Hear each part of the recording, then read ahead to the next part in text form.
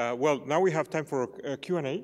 And um, I think the, the procedure is going to be through uh, cards that will be distributed to uh, those of you who want to formulate questions, and then the cards will be passed to me, and um, I will uh, read them out to the panelists.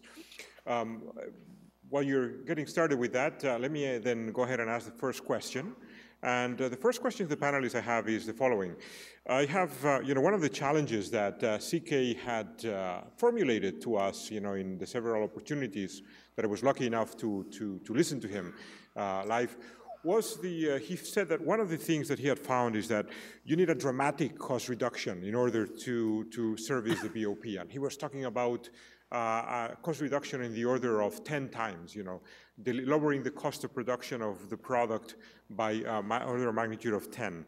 Uh, I'm not sure, you know, whether, uh, you know, how realistic that is in this context or not, but the question is a bit more general. What have you found is the biggest uh, challenge in reducing cost in the services that you have, uh, that you are providing? Can you uh, perhaps mention one major challenge that you have faced and how, and what are you doing to deal with that challenge?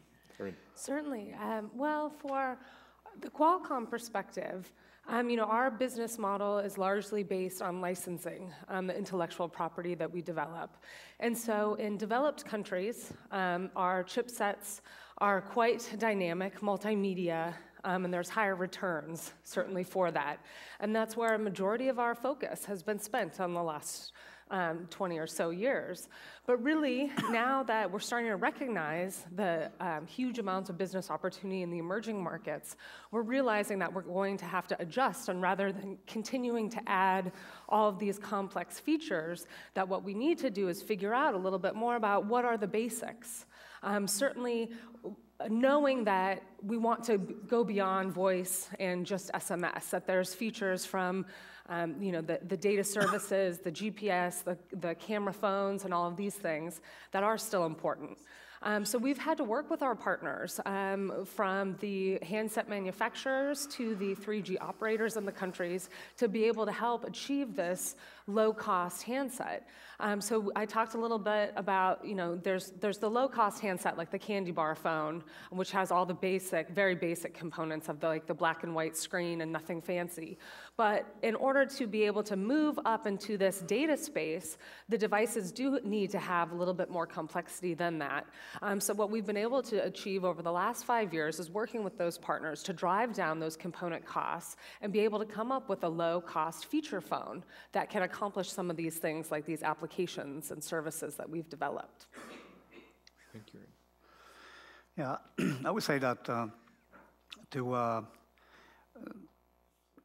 cost reduction, uh, the first thing that, uh, that I would mention is, uh, is basically the, the cost associated with the, the problems, interruptions, even outages that the, uh, so to say, the informal grid uh, uh, generates or produces, you know, in the, uh, in, in, the, in the distribution grid. You know, I would say that that means a lot of things, you know, mobilization, outages.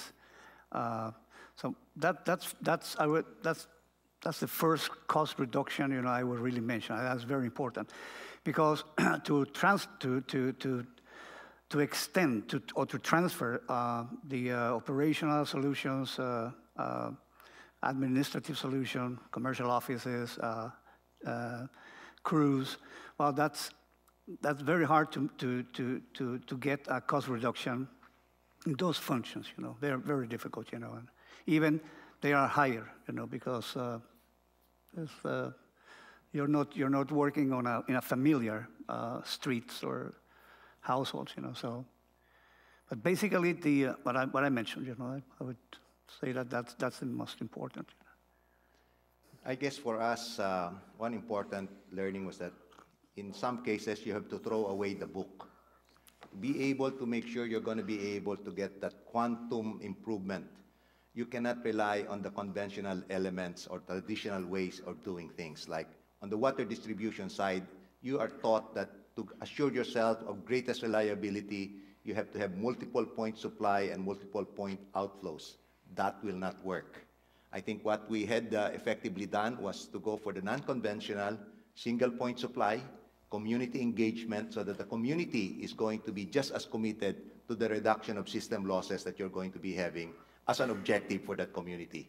In exchange for the reduction in system losses, they get 24-hour supply.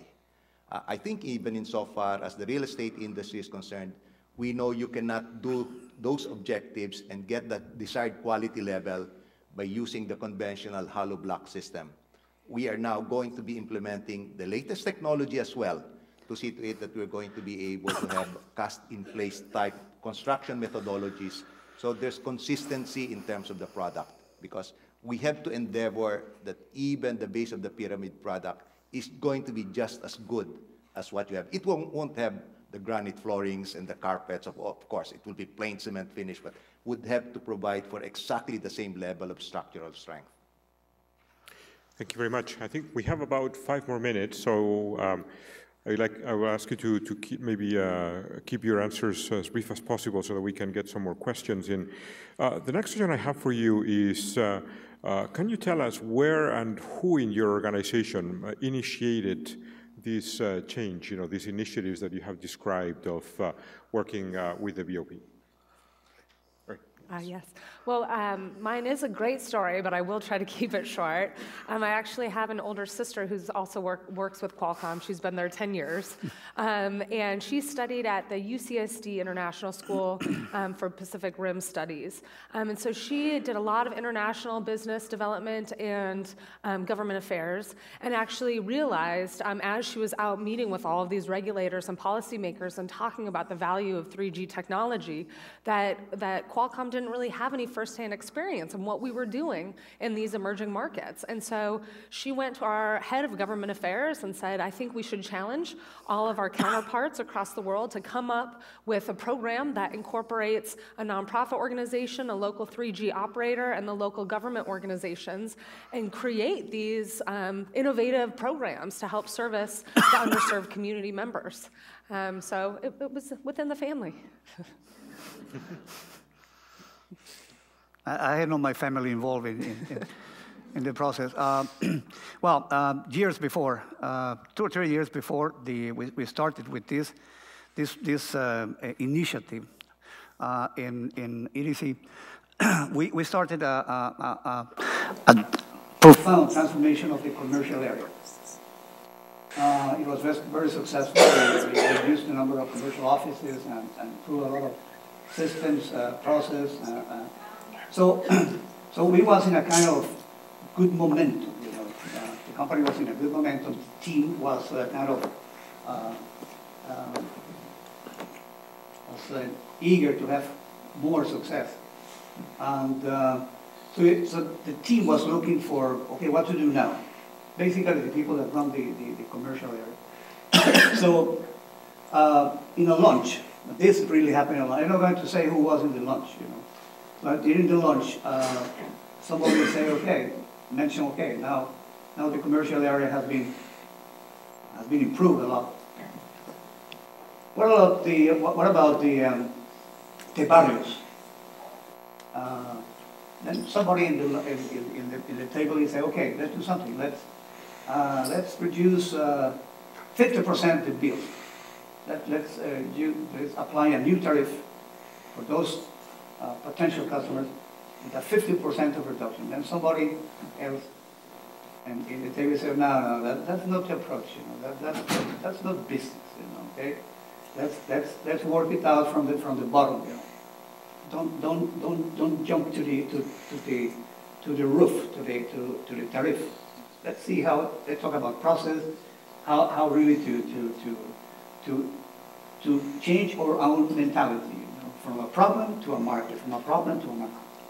So that's, that's how it, uh, so basically it was the, uh, it was the, uh, the consequence, non-calculated, of a period of success that had nothing to do with the, with the favor, the, the, the, the low-income segment. That success kind of infected, positively extended to, to Okay, I think when you see the, when you saw the 1997 chart that indicated the problem of Manila at that time, you know you, you immediately know that you're not going to be able to meet your service obligations to the government as provided for the in the concession agreement if you don't get to address the base of the pyramid problems. You've got to be able to come up with innovative uh, ways by which you're going to be able to connect everybody and improve the levels of service. So in a large way, you would credit government for coming around with fairly stiff targets. Very difficult. And fortunately, after we've seen that, I think that was the great realization on our part that we saw that, hey, the poor, if you treat them well, they will pay. We have 99% collection efficiency, and they are well behaved, and they will help you. And that is why I think it was so gratifying. And in turn, it enabled us to be able to apply those learnings in the other parts of the business that the conglomerate was involved with. And, and that was really how we have now been progressing. And maybe the added element that I'd like to add is really the fact that you have to also get people of like minds. It's important that you have that corporate vision from the top, from your chairman of the board, which we fortunately have. And then to make sure that as you staff each of those product segments with your specific organization, the people that you will have there will have the same level of commitment, not just on the bottom line, but with a genuine desire to come around with products that will be of great service to that market segment. Mr. Aquino, uh, as a follow-up, you mentioned government here several times, public-private partnership. Uh, a very interesting question here we have is to what extent have you, in your initiatives, relied on uh, financial support from either the government or international donors uh, in pursuing these initiatives? Have you had to uh, use recourse to those, to that kind of financial support, or have you been able to do it uh, on your own?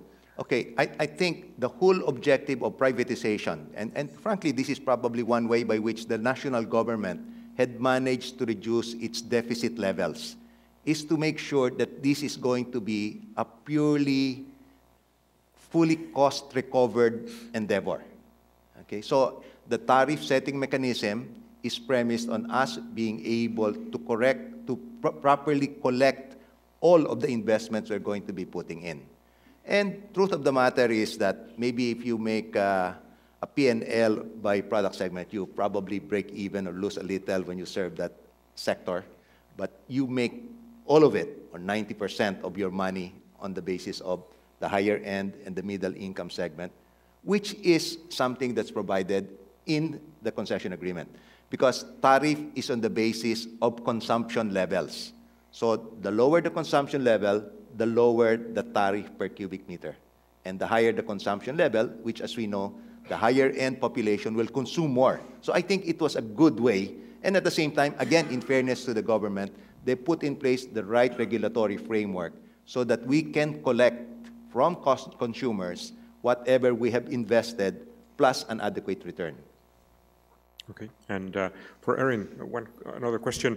Uh, how do you, to what extent do you realize, do you incorporate in your initiatives uh, that you described uh, local income generation? That is, uh, how much do you try to, uh, to uh, keep within the communities in which you work in terms of, uh, you know, giving them opportunities, not just as, as, as, customers or future entrepreneurs, but also as maybe, mm, you know, people who contribute to your value chain of, of delivery?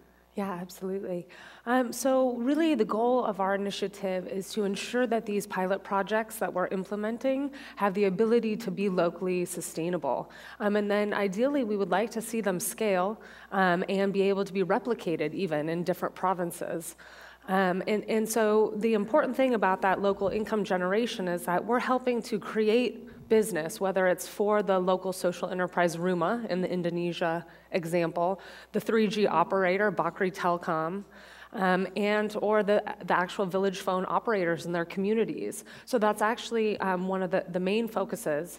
Um, and, and maybe to give one other example, um, in, in the Philippines, we've got a very successful project with smart communications, with the Department of Health, with USAID, and with the local government units. And really where the direction of that program is going is all of those local stakeholders are now able to see the value um, that these projects are able to give back to the community and are now finding finding um, their own way to, to find government funding or um, to help increase that local income generation. Thank you very much. I'm afraid we are out of time. I want to thank all of you for your uh, fascinating questions, and sorry that we didn't get to all of them. Uh, But uh, above all, I I want, I want to ask you to please join me in thanking the panelists for this fascinating session.